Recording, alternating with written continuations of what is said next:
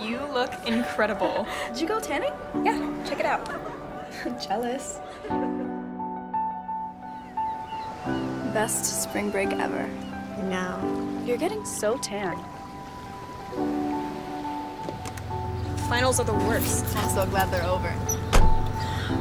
We need some sun. I can't believe our friends are getting married. She looks amazing. Where's your tan? We can't go tanning anymore. Doctor's orders.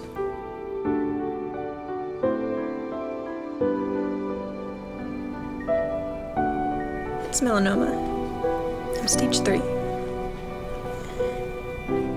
Melanoma is the second most common cancer for young women, 15 to 29. Protect yourself.